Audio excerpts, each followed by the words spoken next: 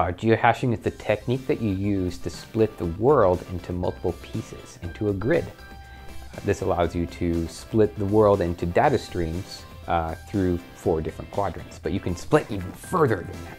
Uh, you can go to 128 squares. Anything that's within that region uh, becomes a topic zone. So just like within a mile or 10 mile radius, you'd like to be able to subscribe to that data feed in that geographic region, and that's geohashing at core a picture of a map, like the map of the world, and then you slice the map into uh, a Cartesian grid, and then each of those squares that are formed through the grid are actual, you can think of them data streams or, or like focal points that you can use to uh, subscribe, but you might want to go further than that. Maybe you want to go down to like the city blocks because you want to do hyperlocal uh, data streams.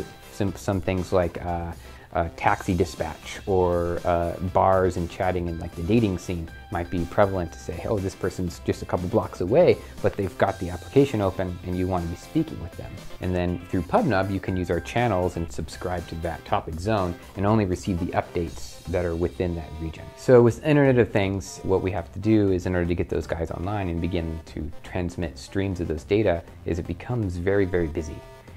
You got to segment by location uh, that data stream or that data feed uh, in order to um, provide dashboards of data so you can see that data in real time by geography.